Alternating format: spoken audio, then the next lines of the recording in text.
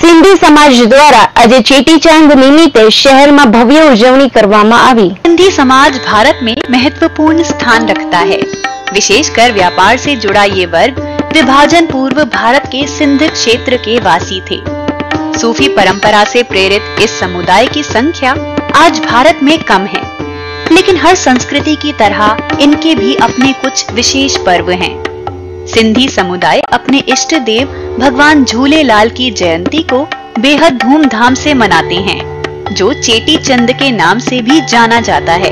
आइए जानते हैं भगवान झूले लाल जी की जयंती से जुड़ी विशेष बातें। सिंधी समाज प्राचीन काल में अधिकतर जल मार्ग द्वारा व्यापार किया करते थे, इसलिए उनके देवता भी जल से जुड़े हुए हैं।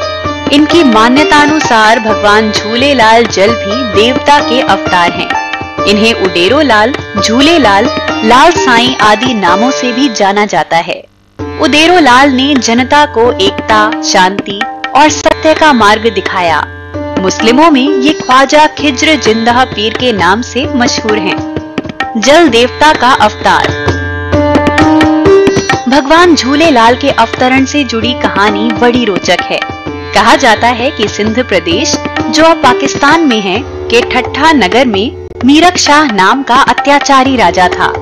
उसके अत्याचार से दुखी होकर लोगों ने 40 दिनों तक श्रद्धा पूर्वक जल किनारे पूजा की। इसके बाद जल देवता मत्स्य के रूप में आए और उन्होंने भविष्यवाणी की कि वो जल्द ही राजा के अत्याचारों का अंत करने के लिए जन्म लेंगे। भगवान झूलेलाल का जन्म और मन्नत मांगने का दिन। इसके बाद चैत्र शुक्ल द्वितीया को ठाकुर रतन राय के घर माता देवकी ने पुत्र को जन्म दिया, जिसका नाम उडेरो लाल रखा गया। भगवान झूले लाल के जन्मोत्सव को सिंधी समाज चेटी चंद पर्व के रूप में भी मनाता है। मान्यता है कि इस दिन मांगी हुई मन्नत अवश्य पूरी होती है।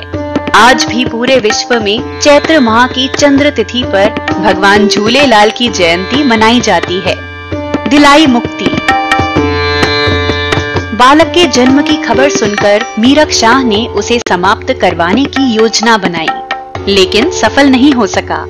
उल्टे राजा के महल में आग लग गई। अपने सैनिकों की हार और आग के डर से बादशाह भागकर झूले लाल जी के चरणों में गिर पड़ा। इस तरह बाल्य अवस्था से ही चमत्कारों के कारण भगवान झूले लाल के प्रति लोगों की आस्था प्रबल होती चली गई।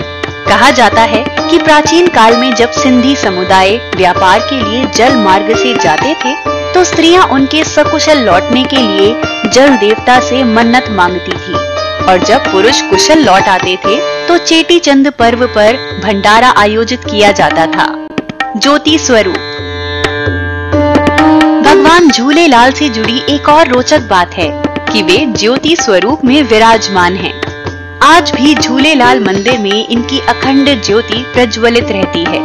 सिंधी समाज उन बेहद चुने हुए समाजों में एक है, जो अल्पसंख्यक होने के बावजूद अपनी पहचान और संस्कृति को बनाए हुए हैं। झूलेलाल जयंती सिंधी समाज के लिए अपनी संस्कृति को दुनिया के सामने रखने और एक साथ खुशियाँ मनाने का पर्व है।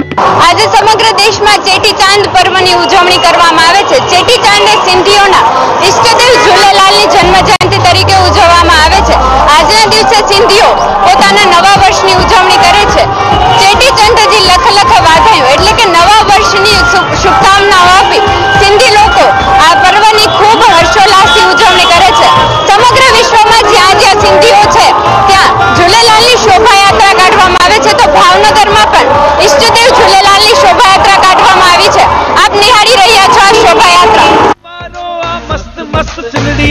सागर मस्त। आयो झूलण जो मेलो, अचो त ख़ुशियूं मनायूं। झूलण जे मेले में अची सभई त मौज मचायूं। चेटी चंड जूं सभ खे वधायूं।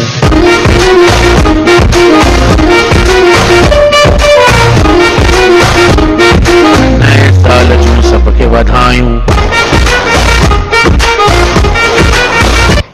સમાજના ઈષ્ટદેવ ભગવાન ઝૂલેલાલ સાહેબની જન્મ જયંતિ એટલે કે પ્રાગટ્ય દિન.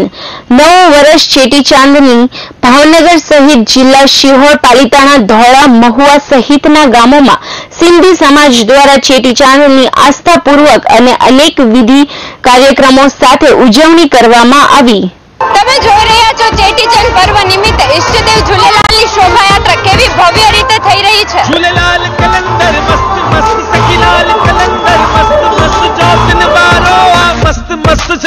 जो सागर मस्त, लाल कलंदर मस्त मस्त सखीलाल कलंदर मस्त मस्त जोतन वारो आ मस्त मस्त सिंगड़ीअ जो सागर मस्त।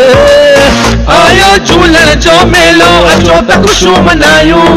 झूलण जे मेले में अची सभई त मौज मचायूं। चेटी चंड जूं सभ खे वधायूं।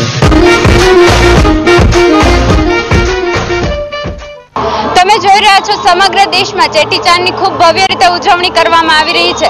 તો આપણે ભાવનગરના સિંધી સમાજના પ્રદેશ અધ્યક્ષ અને પ્રમુખને પૂછીએ કે ચેટીચાંદનું આયોજન કેવી રીતે કરવામાં આવે છે?